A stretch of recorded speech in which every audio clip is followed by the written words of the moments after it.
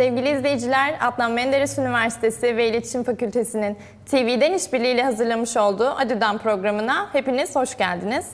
Bugün yine değerli bir konuğumuz var. Yabancı Diller Yüksekokulu öğretim görevlisi Soner Sofracı bizlerle beraber. Hocam hoş geldiniz. Hoş bulduk. Teşekkür Hoş ediyorum. geldiniz hocam. Beni ağırladığınız için. Biz teşekkür ederiz. Ayağınıza sağlık. Hocam programımıza ve sorularımıza geçmeden önce kısaca kendinizi tanıtabilir misiniz? Tabii ki. Ee, Ben öğretim görevlisi Soner Sofracı. Yabancı Diller Yüksekokulu'nda İngilizce öğretim görevlisiyim. Ee, 2010 yılında e, Balıkesir Üniversitesi Necati Bey Eğitim Fakültesi İngilizce Öğretmenliği bölümünü e, lisansını tamamladım. Daha sonra 2017 yılında da e, yine Balıkesir Üniversitesi'nde Necati Bey Eğitim Fakültesi'nde İngilizce öğretmenliği yüksek lisansını tamamladım. E, 2010 yılından beri de e, yüksekokulumuzda İngilizce öğretim görevlisi olarak çalışıyorum. Aynı zamanda 2017 yılından itibaren de e, müdür yardımcılığı görevi yürütmekteyim. Teşekkür ederiz hocam. Sağ olun. Hocam, e, yüksekokulunuz hakkında genel bir bilgi verebilir misiniz bize? Tabii ki e, Aydın Adnan Menderes Üniversitesi Yabancı Dil Yüksekokulu e, 14 Mart 2000 2009 tarihinde alınan Bakanlar Kurulu kararı ile e, yüksekokul olarak açılmıştır. Ve e, 2009-2010 eğitim öğretim yılından itibaren hazırlık eğitimi vermektedir. E, aynı zamanda e, şu anda yüksekokulumuzda 3 farklı yabancı dilde hazırlık eğitimi vermekteyiz. İngilizce bölümü var, e, İngilizce hazırlık sınıflarımız var, Almanca hazırlık sınıflarımız var ve Fransızca hazırlık sınıflarımız var. E, İngilizce hazırlık sınıflarının verilmesi için 30 adet 30 tane e, öğretim görevlimiz var. Almanca e, öğretim görevlilerimiz e, iki kişi tarafından veriliyor. E, üç tane, de, beş tane de Fransızca hazırlık sınıfı öğretim görevlimiz mevcut. E, aynı zamanda bu öğretim görevlilerimiz üniversitemizin farklı birimlerinde hem mesleki İngilizce hem genel İngilizce derslerinde yürütmekteler. E, yine yüksekokulumuz e, üniversitemizdeki lisansüstü programlara başvurmak isteyen adaylar için e, enstitü yeterlik sınavı yapmaktadır. Bu sınavın sonucunda aldıkları puanlara göre adaylar üniversitemizdeki lisansüstü programlara başvurabilmekte. Aynı şekilde yaptığımız diğer bir sınavda Erasmus yeterlik sınavları. Evet. Üniversitemizin öğrencileri Erasmus programı ya da Mevlana programından yararlanmak isteyen öğrencilerimiz bu sınava girip aldıkları puanlara göre e, değerlendirilerek Erasmus'la e, diğer ülkelerde eğitim almak elde ediyorlar. Peki hocam yüksek okulunuzda verdiğiniz eğitimle tam olarak neyi amaçlamaktasınız? E, yüksekokulumuzda verdiğimiz e, eğitimle öğrenciler açısından bakacak olursak e, mesleki, kültürel ve sosyal anlamda e, dil e, öğrendikleri yabancı dille e, iletişimi sağlayabilmelerini, e, aynı zamanda Avrupa Ortak Dil Çerçevesi kapsamında yer alan, öngörülen kriterlere sahip e, bireyler olabilmelerini amaçlıyoruz. Bu aldıkları eğitimler sayesinde kendilerini hem yazılı olarak hem sözlü olarak e, iyi bir şekilde ifade etmelerini istiyoruz. E, kurum olarak da amacımız verdiğimiz e, yabancı dil eğitimiyle uzman öğretim görevlilerimizin alanında, dil öğretiminde uzman olan öğretim görevlilerimizin verdiği eğitimle dil öğretim yapan kurumlar arasında üst sırada yer almak ve e, tercih edilen, diğer öğrenciler tarafından tercih edilen e, ve de akademik ve etik değerlere sahip bir kurum olmaya amaçlıyoruz. Aynı zamanda e,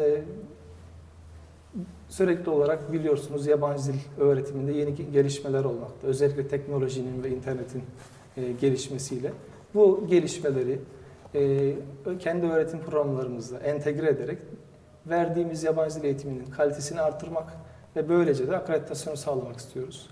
Bu sağlanan akreditasyon sayesinde tabii ki yüksekokulumuzda verdiğimiz yabancı dil eğitimi yurt dışındaki e, diğer üniversitelerde de kabul görecek tabii ki. Bunun için çalışmalarımızı yürütüyoruz.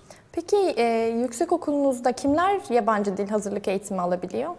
Ee, yüksekokulumuzda bizim zorunlu hazırlık eğitimi var ve de isteğe bağlı hazırlık eğitimi var. Ee, bu zorunlu hazırlık, zorunlu hazırlık e, eğitimi almak isteyen bölümler ve isteğe bağlı hazırlık eğitimi almak isteyen bölümler ÖSYM kılavuzunda belirtiliyor. Şu an bizim üniversitemizde Mühendislik Fakültesi'nin tüm bölümlerinde, e, Aydın İktisat Fakültesi'nin Uluslararası İlişkiler bölümünde, e, Eğitim Fakültesi'nin İngilizce Öğretmenliği bölümünde, Fen Edebiyat Fakültesi'nin İngiliz Dili Edebiyatı bölümünde ki öğrenciler bizim yüksekokulumuzda bölümlerine geçmeden önce hazırlık eğitimlerini tamamlamaları gerekiyor. Çünkü e, zorunlu hazırlık ne demek? Zorunlu hazırlık şu, bu bölümdeki öğrencilerin 4 yıl boyunca, lisans eğitimi boyunca alacakları derslerin hepsi İngilizce olarak Olacak. öğretilecek. Öğrenmek zorundalar. Evet, bu sebeple de bu eğitimi almaları gerekiyor.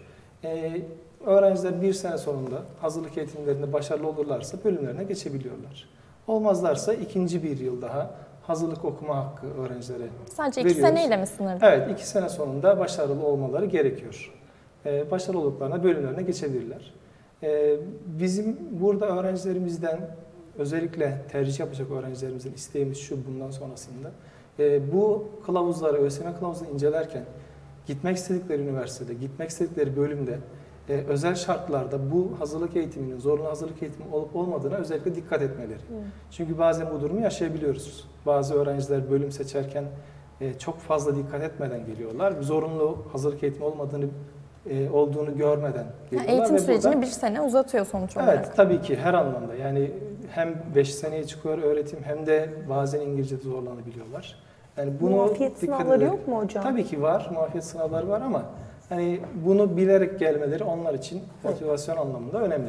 Yani İngilizce olan bölümlerde peki muafiyet sınavı oluyor mu? Tüm tüm bölümlerimizde bizim Hepsinde. isteğe bağlı hazırlık, zorunlu hazırlık sınıflarımızda biz yılda 3 kere yeterlik sınavı diyoruz biz ona. Hı. Sınavları yapıyoruz. Bu sınavlara girip başarılı olurlarsa bölümlerine başlayabiliyorlar. İsteğe bağlı hazırlık eğitimi biraz daha farklı. Orada bu hazırlık öğrencileri e, tamamen eğitimin Türkçe yapıldığı, tüm derslerin eğitiminin, öğretim dilinin Türkçe olduğu bölümlerin bazıları e, yine yüksekokulumuzda İng- İngilizce hazırlık eğitimi görebiliyorlar. Ama bu öğrencilerin başarılı olsa da, başarısız olsa da e, bir sonraki sene bölümlerine ders alabilme şansları var. Peki hazırlık eğitiminde öğrencileri neler bekliyor ve hangi seviyeye kadar dil eğitimi veriliyor? Ee, Bizim yüksekokulumuzda e, Avrupa Ortak Dil Çerçevesi e, içerisinde yer alan dil düzeyleri var.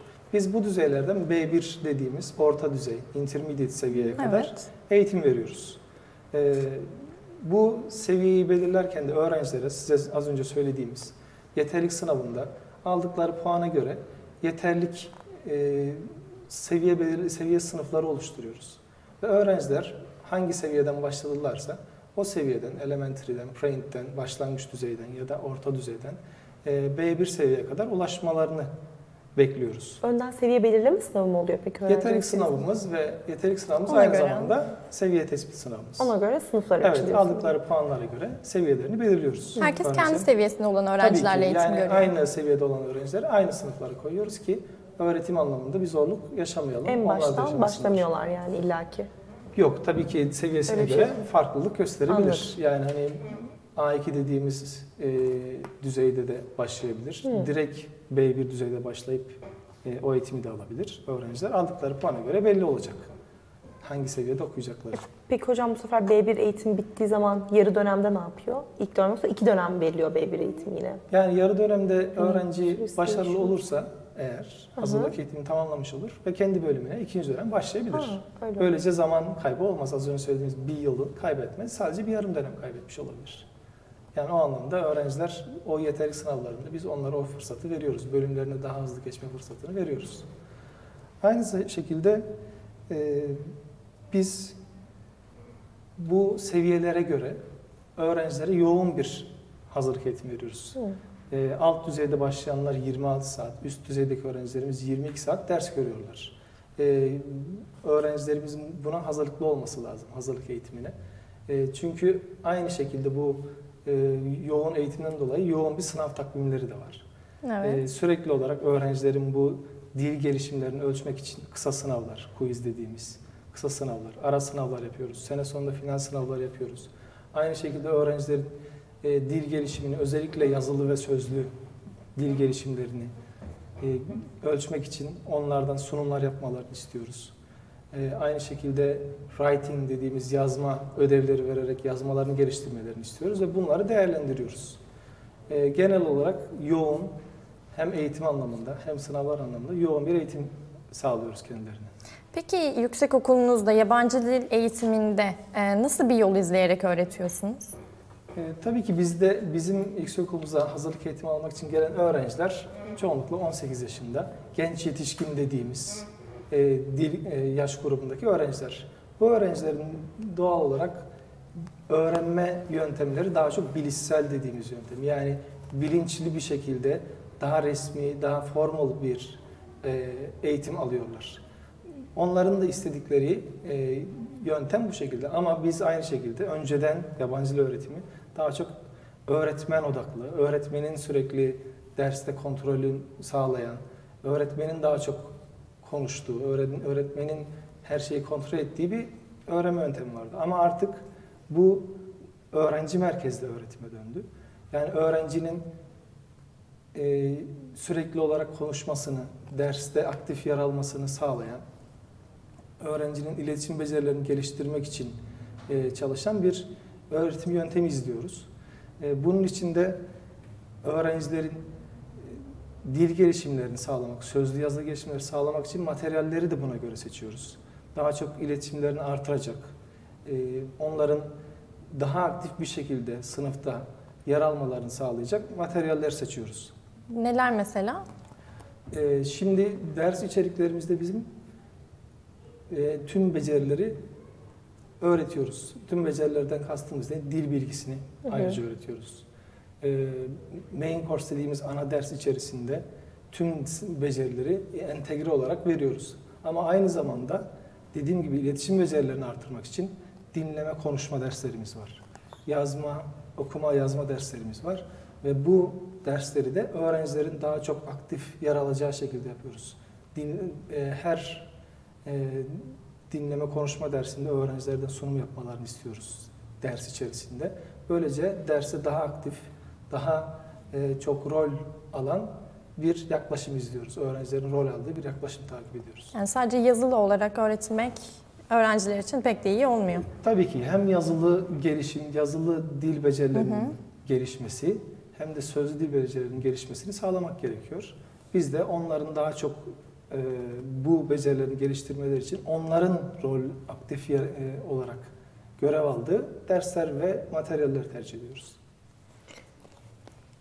Evet hocam, e, yabancı dil eğitiminde peki öğrencilerin e, motivasyonunu sağlamak için neler yapıyorsunuz?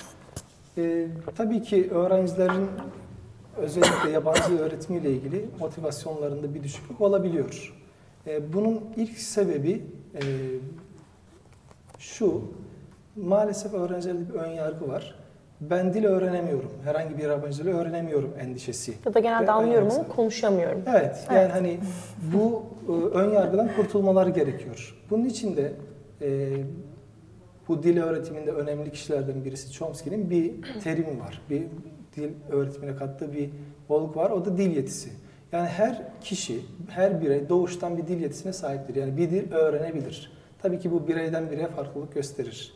Yani bazı bireyler daha çok e, birden fazla dili öğrenebilirken bazı bireyler 4-5 tane dili öğrenebilir diyor. Yani bizim öğrencilerimizin, dili öğrenmek isteyen öğrencilerin motivasyonunu artırması gerekir. Öncelikle bu ön yargıdan kurtulması lazım.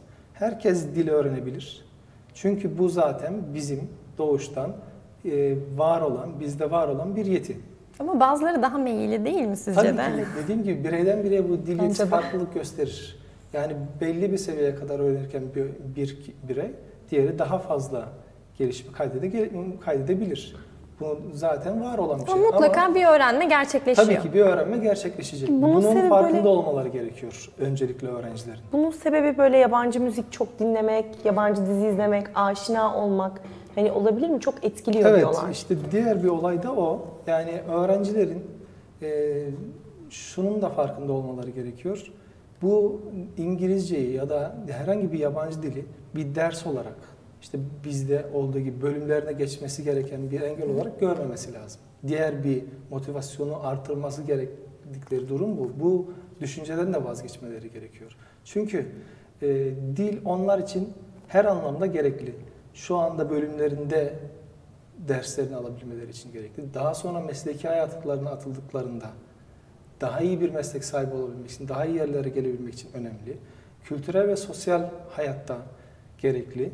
E, bunu bir kendilerinin yaşamlarının parçası olarak görmeleri gerekiyor. Evet Yani- artık tek dil de değil üstelik. Ee, Evet. iş bulma konusunda iki dil, üç dil Evet, belki öncelikli ihtiyacımız olarak var. İngilizceye bakılır ama şu, an, şu anda hani evrensel dil olduğu için herkes neredeyse İngilizceyi biliyor ve Evet, bunun dışında biliyor, ikinci ve üçüncü bir yabancı dil aranıyor. Evet. Ama öncelikli olarak İngilizceyi bilmemiz gerekiyor ve bunun için de bu düşünceden vazgeçip tam tersi bunu bir yaşamımızın bir parçası olarak görmesi Yani normal Türkçe konuşur gibi. E, tabii ki. Yani Ama- hani bunun mesleki deneyim kısmını özellikle şu anda öğrencilerimiz biraz da genç olduğu için daha tecrübe sahibi olmadıkları için farkında değiller.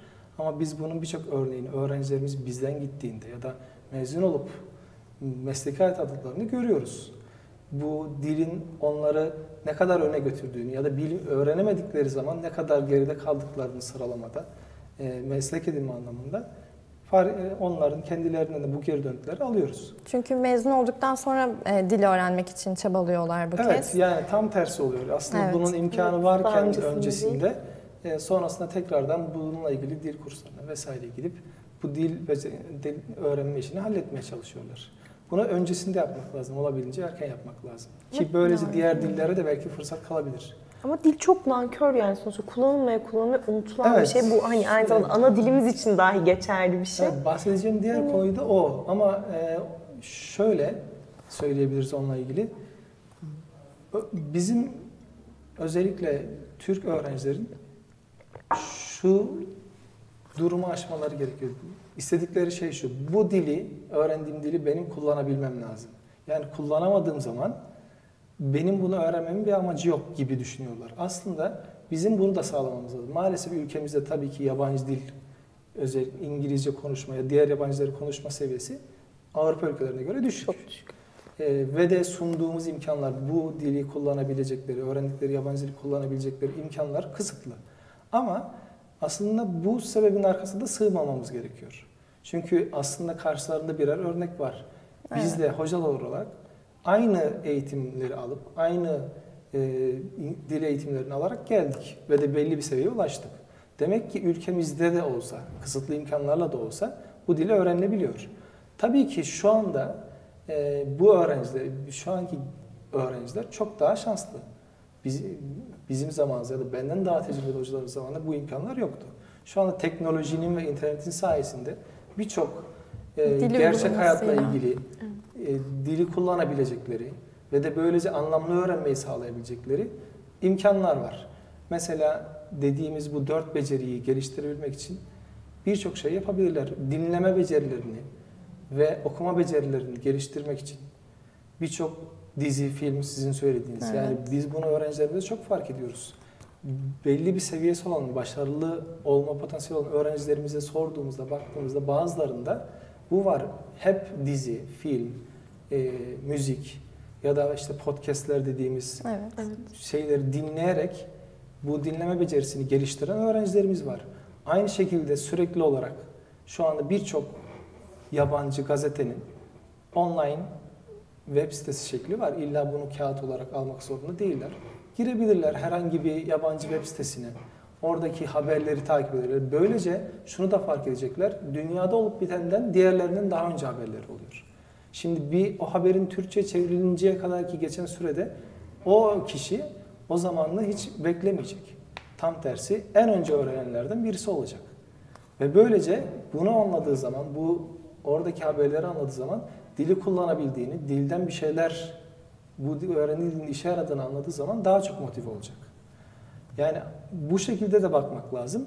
Bu imkanları sağlamak öğrencilerin, bireylerin kendisine ait. Yine aynı şekilde üretici skill beceriler dediğimiz yazma ve konuşma becerileri içerisinde çok fazla imkan var.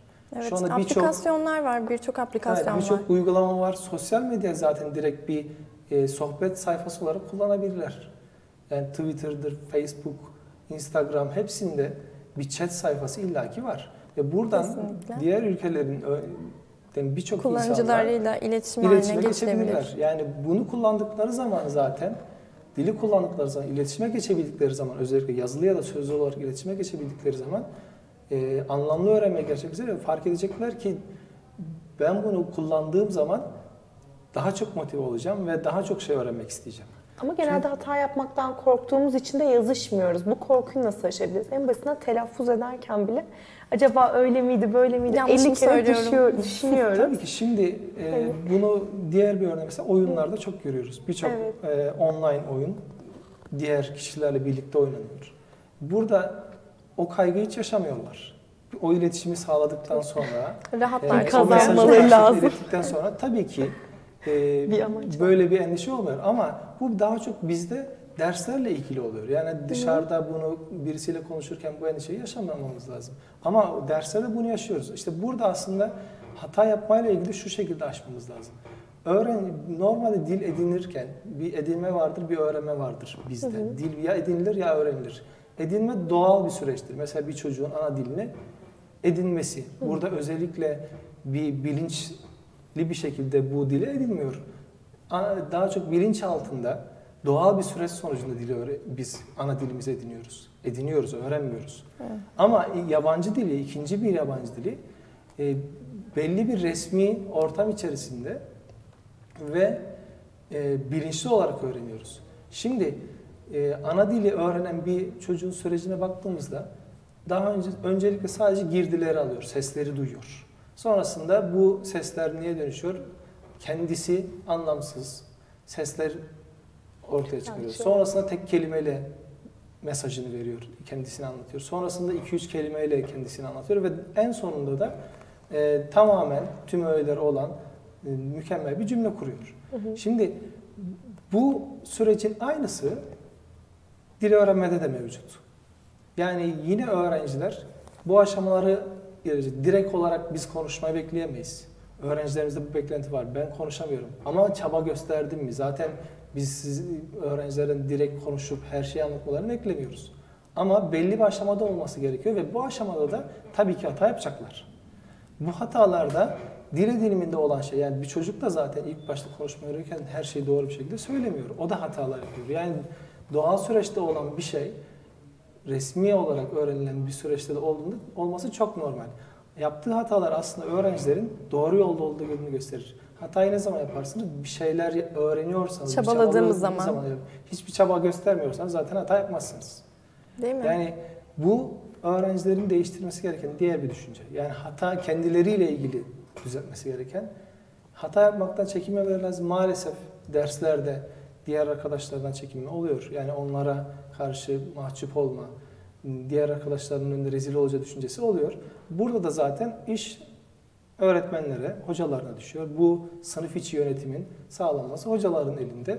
Ee, öğrenciler ama kendi işlerinde hata yapmaktan korkmayın. Tam tersi bunun dili öğrenmede, dilin edilme doğal bir süreç olduğunu ve iyi bir işaret olduğunu bilmeleri lazım. Ya siz de bu yüzden sanırım e, sınıfta belirli etkinlikler gerçekleştiriyorsunuzdur diye Ve düşünüyorum. Tabii ki zaten hani e, şunu da bilmek lazım. Burada öğretmenlere iş düşüyor. Öğretmenler diğer öğrencilerin e, bu konuda dikkatli olması gerektiği konusunda uyarıyorlar. Ama o kişiye hatalarının yanlış yaptığı hataların dönütünü verirken de dikkatli olmamız gerekiyor. Şimdi bazı öğrenciler mesela yaptığı hatanın direkt söylenmesini bekleyebilir. Ama bazı öğrenciler direkt hatasını söylediğinizde cesareti kırılabilir.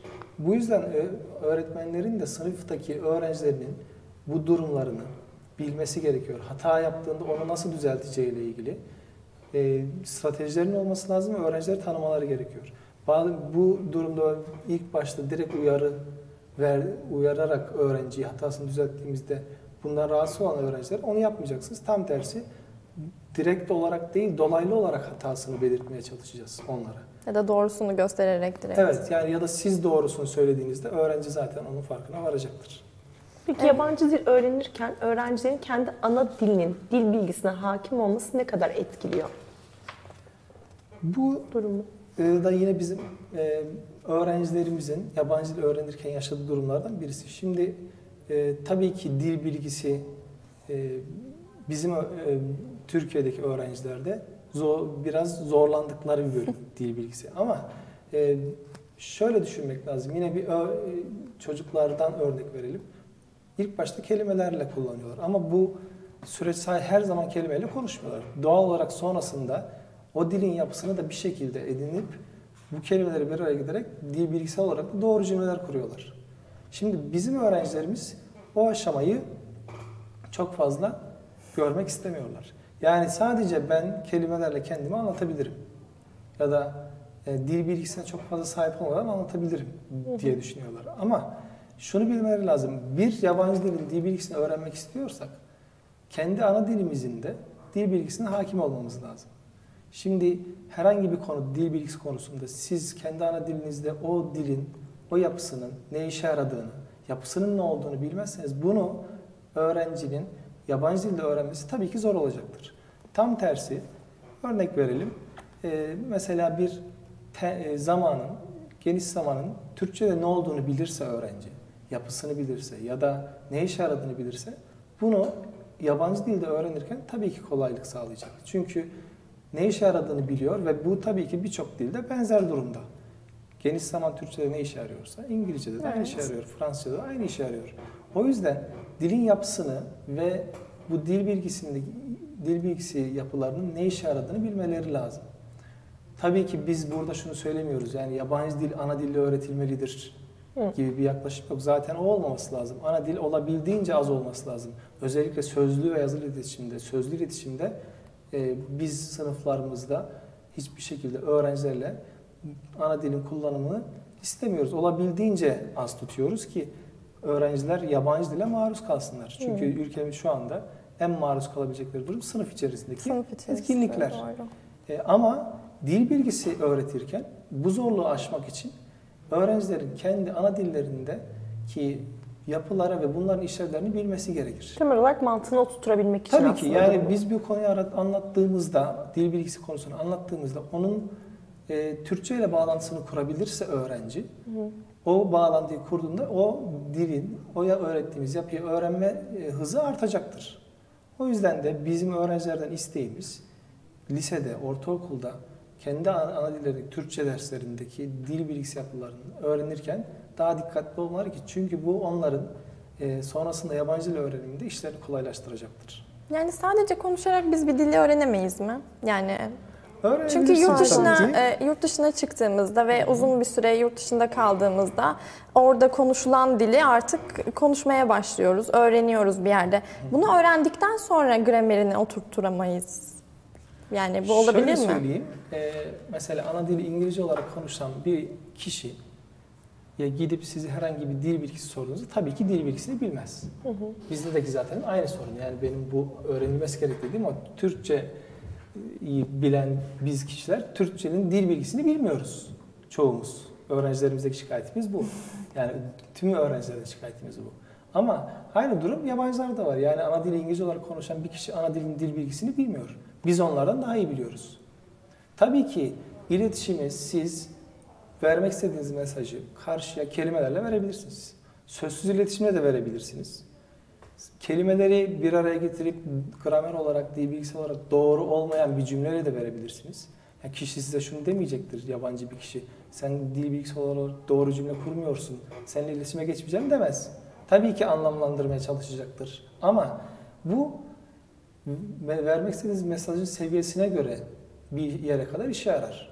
Yani siz bir siyasetten konuşmak istediğinizde orada kelimeler ya da kurduğunuz iletişim yeterli olmayabilir. O, o yüzden de dil bilgisini bilmek lazım. Yani bizim öğrencilerimizin kurtulması gereken bir şey de o. Yani iletişim kurabildiğim kadar yabancı dil benim için yeterli. Bu tabii ki yeterli ama düşük bir hedef. Bizim çıtayı daha yüksek koymamız lazım. Örnek verelim. Mesela birçok Avrupa ülkesinde hatta özellikle bu İskandinav ülkelerinde Finlandiya, İsveç olsun. Oralardaki vatandaşlara bakın. Neredeyse bir ana dili İngilizce olan bir vatandaş kadar iyi konuşuyor. Dil bilgisel olarak da iyi konuşuyor. Sözlü iletişimi, yazılı iletişimi akıcı. Bakarsanız herhangi bir İngilizmiş gibi görebilirsiniz. Şimdi bu kişiler bunu yapabiliyorsa biz neden yapmayalım? Biz neden yapamıyoruz peki? Asıl mevzu orada. Çok küçük yaşlardan itibaren aslında hepimiz İngilizce Neden eğitim alıyoruz. Çünkü biz dile yeterince maruz kalmıyoruz. Hı. Yani bir yabancı dile maruz kalmamız lazım. Şu anda tabii ki ülkemizde bir yabancı insan ancak belli şehirlerde bunu görebilirsiniz. Yabancı insanların çok olduğu yerlerde görebilirsiniz. Evet, turistik bunu bölgelerde. Ya da İstanbul'da vesaire. Ama Bunu biz kendi imkanlarımızla yapmamız lazım. Az önce söylediğimiz imkanlar, teknolojinin kullanımıyla, internetin kullanımıyla sağlayabiliriz. Yoksa tabii ki burada bir, şu anda mesela okulumuzda artık yabancı uyruklu öğrenciler çok. Evet. Onlarla iletişime geçerek sağlayabiliriz. Birçok bölümün e, içerisinde yabancı uyruklu öğrenciler var. Biz her zaman öğrencilerimize onu tavsiye ediyoruz. Yani bu kişilerle siz iletişime geçin. İşte bu kişilerle bu temel problemimiz aslında bir yerde çekiniyor olmamız. Tabii ki yani çekiniyor olmamız ve maruz kalmamamız. Yani bu şeyi aşmak istiyorsak eğer bir Avrupa ülkesindeki bir kişi gibi e, dili, dil bilgisayar olarak da hem akıcı olarak hem telaffuz olarak iyi konuşmak istiyorsak e, dile maruz kalmamız lazım. Bir Evet. şeyin telaffuzunu öğrenmek istiyorsanız ona maruz kalmanız lazım ki o telaffuzu edinebilirsiniz, öğrenebilirsiniz. Bu da nasıl oluyor o ülkelerde? Özellikle İskandinav ülkelerinde şunu biliyoruz. E, siz iletişimcisiniz, benden daha iyi bilirsiniz. Dublaj mesela bizim ülkemizde Evet. çok gelişmiş durumda. Evet. Bir film çıkıyor, hemen dublaj geliyor. Sinemalarda hep dubla- dublajlı seanslar var. Aslında onlar tercih etmedi, tercih etmeyip bizim Altyazılı ana- olanları. altyazılı olan hem böylece aslında orijinal olarak izlediğinizde ondan daha çok zevk alacaksınızdır. Hocam Tabii ki dublajlar sonra- kaliteli ama Evet bir süre sonra hani izlediğimiz dizi hani İngilizce izliyoruz diziyi altyazılı izliyoruz. O sadece diziyi izlerken anlıyoruz ama asla konuşamıyoruz bir süre sonra. konuşma Buna kısmı- alışmak da kötü bence. Yok aslında bu bir yandan iyi. Yani bu şekilde siz sürekli olarak o girdileri alıyorsunuz ve bu bir şekilde bir sonuçta belli bir zaman sonra e, çıktı olarak meydana gelecek. Yani siz de bunu artık kullanabilir hale geleceksiniz. Öyle düşünmek lazım. Yani e, bizim de o yüzden yine bu ülkelerde mesela çizgi filmlerin hiçbirisi e, TV kanallarında dublajlı olarak verilmiyor. Hepsi orijinal diliyle veriliyor. Ve de bu ülkelerdeki çocuklar direkt olarak çocukluktan itibaren bu dile, yabancı dile hangi dilde veriliyorsa ona maruz kalıyor. Yani öğrenci, oradaki çocuk anaokula başladığında zaten İngilizceyi olabildiğince duymuş oluyor. Yani ona maruz kaldığı için de onu anaokulunda ya da işte kendi ilkokulunda daha da geliştirip o dili halletmiş oluyor ve çoğu zaman o ülkelerde bakarsanız ikinci bir yabancı dil, üçüncü bir yabancı dile geçiyor artık öğrenciler. Daha ilkokuldayken, ortaokuldayken. Yani önemli olan o dile maruz kalmak. Bizim de bunu yapmamız lazım. Yani hani hem çocukken hem de çocukluktan itibaren hem de şu anda bizim yetişkinlerimizin bunu kullanması lazım. Herkesin elinin içinde, telefonda buna maruz kalma ihtimali yüksek, imkanı var. Evet ben tekrardan şeye de değinmek istiyorum. Ee, yani gerçek hayatımızda da e, dil bilgisine önem vermeliyiz diyoruz değil mi? Yani sadece dil bilgisini öğrenme konusunda, Evet. konuşma konusunda bil- değil. Yani dil bilgisini öğrenmek istiyorsak lazım. Ama dil bilgisi bizi mükemmel hale getirir. Evet. Yani şimdi e, tabii ki birçok ülkeden daha iyi bir şekilde İngilizce konuşabiliyoruz. Ama mükemmel hale getirmek istiyorsak dil bilgisini de halletmek. Bu tabii ki öncelik değil. Öncelik sizin de söylediğiniz gibi iletişimi sağlamak, anlaşabilecek kadar İngilizce sahip olmak ama bu şekilde kalmaması lazım. Evet. Demek istediğimiz o. Yani ben artık anlaşabiliyorum, bu benim için yeterli değil. Neden daha mükemmel olmasın? Neden telaffuzumuz daha mükemmel olmasın? Neden konuşmamız daha akıcı olmasın? Ki meslek Böylece- hayatında da Ki Önemli. evet yani meslek hayatında da aynı şekilde, sosyal hayatta da aynı şekilde. Bizim de bu şekilde olmamız lazım. Yani bunun en bariz örneği mesela bir Fatih Terim'in konuştuğu İngilizce var. Evet. Bir de Tarkan'ın konuştuğu İngilizce var. Evet. Evet. kesinlikle. Yani bu farkı gösterebiliriz. Aslında aynı şey kendi ana dilimiz için de geçerli. Yani sonuçta ana dilimizle iletişim sağlıyoruz ama dil bilgisi kurallarına dikkat ettiğimizde daha etkili bir konuşma elde Tabii etmiş ki. oluyoruz. Yani aynen öyle. Sonuçta bununla ilgili eğitimler veriliyor. Evet. Yani verilmese de ben Türkçe olarak o derdimi anlatabiliyorum. Ama verildiği zaman daha kaliteli bir konuşma, daha kaliteli bir mesaj karşıya iletilmiş olur. Peki yüksek okulunuzda hazırlık eğitimi dışında dil eğitiminiz var mı? Yabancı diller yüksek okulunda dil eğitimi almak isteyenler neler yapmalı? Ee, biz hazırlık eğitimi dışında e, hem üniversitemiz personeline, hem üniversitemiz öğrencilerine, hem de dışarıdan, halktan kişilere kurslar düzenliyoruz. ADÜSEM işbirliği ile. Ee, İngilizce ile ilgili dört tane kursumuz var şu anda e, ADÜSEM işbirliği açık Hiç olan, duymamıştım. başvuruları bekleyen. Ee, bunların bir tanesi genel İngilizce, yani genel amaçlı İngilizce. Ee, en alt düzeyden başlayıp Hı. A1 seviye, A2 seviye, B1 ihtiyaca göre B2, C1 seviyelerde İngilizce hazır, genel amaçlı e, İngilizce kursu açtık. Başvurular bekliyoruz. Aynı şekilde e, birçok e, öğretim üyelerimizin, öğretim görevlilerimizin ihtiyacı olan YDS YÖK dili için e, kurslar düzenliyoruz. Bu kurs sınavlar için hazırlık amaçlı dil kurslarımız var. Yine İngilizce olarak çeviri kurslarımız var. Genel çeviri, genel amaçlı çeviri, akademik amaçlı çeviri kurslarımız var. E, aynı zamanda konuşma kurslarımız var. Az önce söylediğim soru yani Evet. nasıl konuşacağız? Bunu Hı. mecburen kurslarla çözeceğiz şu anda ya da kendi imkanlarımızla çözeceğiz. Biz kurslar açıyoruz, speaking kursları açıyoruz. Ee, baş, bununla ilgili başvurular aynı şekilde. Kimler katılabiliyor? sandı. Herkes katılabilir Herkes dediğim gibi. Halka da açık, e, Evet. adı personeline, adı öğrencilerine de açık. E, adı personeli ve adı öğrencilerine de %10 indirim ayrıca çok iyi. uyguluyoruz. E, İngilizce dışında şu anda zaten devam eden bir kursumuz var. Fransızca e, kursumuz var. Devam ediyor. Onunla ilgili de yine ayrıca kurslar açıyoruz. Yani devam kursları açıyoruz. E, yine ayrıca sınıflar açılabilir. Ve de Almanca kurslarımız var.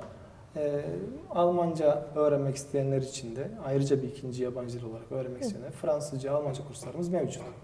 Evet, peki hocam e, çocuklarına erken yaşta dil eğitimi vermek isteyen ebeveynlere siz neler önerirsiniz? Son olarak buna değinirsek süper olur. Evet yani şöyle söylemek lazım az önce bahsettiğimiz konular ama e, aslında olabildiğince bu dil e, öğretiminin erken başlaması lazım. Çünkü dil öğretiminde kritik yaş diye bir konu var. Yani bir kişinin bir dili öğrenmesi için bir kritik, bunu direkt bir tabii ki yaş söylemiyorlar ama ne kadar erken öğrenilirse hatta bu öğrenmeden edinime dönüşebilir. Evet. Ee, bunun için de öğrenci çocuklarımıza olabildiğince erken yaşta bir herhangi bir yabancı dille e, tanıştırmamız gerekiyor. Maruz bırakmalıyız. Tabii ki aslında. maruz bırakmalıyız. Yani bu en önemli olay. O, o çocuğun o dile maruz kalması bir şekilde özellikle e, bilinç altında o dile edinmesini Bu sağlar. çocuğun ana dil gelişimini etkilemez mi peki? Etkilemez. Hiçbir şekilde etkilemez. Etkilemez. Bununla ilgili farklı düşünceler var tabii ki. Evet. Ben bunun örneğini kendi çocuğumdan verebilirim. 3 Hı hı. yaşında bir kızım var. Ha, Allah Ee. Ben de eşim de İngilizce öğretmeniyiz. Biz ikimiz de İngilizce konuşuyoruz kendisiyle ve şu anda 3 yaşında bizle beraber konuşup, anlaşıp derdini anlatabiliyor. Çok şanslı. Peki, evet. çok şanslı Şey, ama bunu peki. işte hep biz yapabiliriz. Evet. Evet Yani ama Türkçeyi nasıl kullanıyor peki hocam? onda da ikisinde de problemsiz, hiçbir ikisinde sorun de. yok. Yani Çok hatta şu an güzel. tabii ki Yani Türkçe'ye edinim daha çok, sayesinde hı. Türkçe'ye daha çok maruz kalıyor tabii ki. Evet, Onu tabii daha ki iyi de. biliyor ama sadece bizden duyduğu ve tabii ki biz devam az önce söylediğim videolar birçok şu anda YouTube'da vesairede çocuklar için de yabancı dil olarak program programlar var. Onları izletiyoruz. Çizgi filmler. Çizgi filmler var. Onları mesela izleyerek hem kendisi bir şeyler kapıyor hem de bizle Hı hı. konuşarak e, bir şeyler elde ediyor. Bunu yapan bizim yüksekokulumuzda e, birkaç hocamız daha var. Onların da çocukları aynı şekilde. Bunun direkt yaşayan örnekleri biziz. Yani bu hiçbir şekilde ana dilini etkilemez. Hatta e, bununla ilgili diğer özellikle büyük şehirlerde ikinci, üçüncü yabancı dili çocuklarına verenler var. Verenler bile var. Yani 3-4 dili, 5 dili bu çocukların alabileceği aşikar. Yani bunlar çünkü şu anda tamamen her şeyi alma, her şeyi elde edebilme durumundalar. O yüzden de zaten biz eğer kendimizi dil anlamında geliştirirsek ileride bunu siz de yapabilirsiniz. Herhangi bir vatandaşlar değil, sadece İngilizce öğretmenleri ya da herhangi bir yabancı dil öğretmeni değil. Herkes öğrendiğinde bunu kendi çocuğuna uygulayabilir.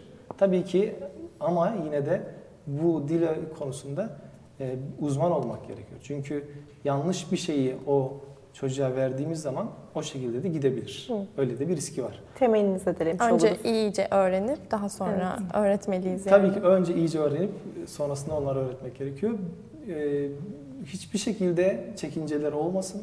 Herkes tabii kendileri konuşamıyorsa en azından tabii ki belli bir kontrol içerisinde çocuklarına videolar, şarkılar yabancı dilde verebilirler. Herhangi hiçbir şekilde çekin bir korkular olmasın. Yani ana dili Türkçeyi geride kalır vesaire yok. Aslında bunu biz Hı hı. kendimiz direkt kendimiz kendi ülkemizde görüyoruz. Bir birçok kişinin e, Almanya'da, Fransa'da akrabası vardır. O Evet. kişilerin hem Almancayı biliyorlar hem Türkçeyi biliyorlar. Çünkü evde Türkçeyi konuşuyorlar, dışarıda Almancayı konuşuyorlar. Evet. Yani bu onların dil gelişimlerini etkilemiyor. e, biz de bunun aynısını kendi ülkemizde, kendi çocuklarımıza yapabiliriz. Hiçbir şekilde endişeleri olmasın. Birçok dili hatta öğrenebilirler. Ama bunu evin içinde yaptığınız için sanki daha sağlıklı oluyor. Bunu kreşte falan böyle 2-3 dil eğitimi verince çocuklara oyun yaşlarında o verilme süreci çocuğu biraz daha mı acaba etkiliyor? O dilden itiliyor mu çocuklar? Şimdi siz anne babasınız. O Yok, yüzden yani- sizden daha verimli alıyor olabilirler. Aslında zamanları kısıtlı. Yani hı. kreşlerdeki tabii ki o öğrendikleri zaman kısıtlı. Evet. Yani sadece bir günde ya da haftada 2 saat, 3 saat bunu görürken Hı hı. biz tabii ki o anlamda biraz da şanslıyız. Yani olabildiğince fazla her zaman vermek lazım. Biz de her zaman yapamıyoruz bunu. Ama e, günümüzün onunla geçirdiğimiz zamanında kendi aramızda bile İngilizce konuşarak bunun doğal bir şey olduğunu e, farkına varabiliyorlar. Yani bu onun için e, şu anda dediğim gibi bilinçaltında öğrendiği için o da onun için öğrendiği herhangi bir dil aslında. E, Yani kreşler yine de tabii ki bunu daha çok veren, daha çok sağlayan farklı imkanlar, farklı yerlerde var.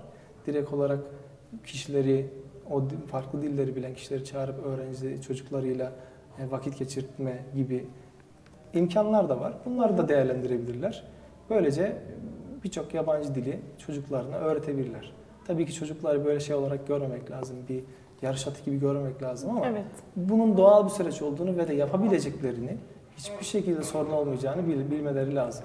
Peki hocam son olarak dili öğrenmek isteyenlere söyleyeceğiniz bir şeyler var mı? Yavaş yavaş programımızın kapanışına geçelim. Tabii ki dediğim gibi e, şunu bilmek lazım.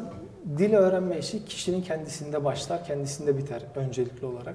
O yüzden olabildiğince kişilerin kendi motivasyonlarını yüksek tutmaları lazım. E, kendi imkanlarıyla da bu dil öğreniminde e, kendi çabalarıyla da bir şeyler yapmaları lazım. Biz her zaman söylüyoruz öğrencilerimize. Biz tabii ki size burada e, kaliteli bir eğitim vermeye çalışıyoruz, veriyoruz. Ama bu burada sınıf içinde kaldığı zaman yeterli değil. Bunun sizin dışarıda kendiniz yapmanız lazım. Biz öğrencilerimize mesela yine de online çalışmalar sağlıyoruz. Online aktiviteler veriyoruz ki okul dışında da bu dille meşgul olsunlar. Evet. O yüzden de e, kişi öncelikle kendisini hazır edecek, dili öğrenmeye hazır edecek, dil öğrenmenin onun için yararlı olduğunu anlamlandıracak ve daha sonrasında da bunun için uğraşacak. Kendisi uğraştığı zaman zaten e, birçok dili, sadece bir tane değil birçok dili öğrenebilir. Teşekkür Çok ederiz teşekkür hocam. ederiz hocam. Ayağınıza sağlık. Ben teşekkür ederim. Beni aradığınız için teşekkürler. Sevgili izleyiciler, bugün Yabancı Diller Yüksek Okulu'nda öğretim görevlisi Soner Sofracı konuğumuzdu. Yarın alanında uzman farklı bir konukla aynı saatte görüşmek üzere. Hoşçakalın.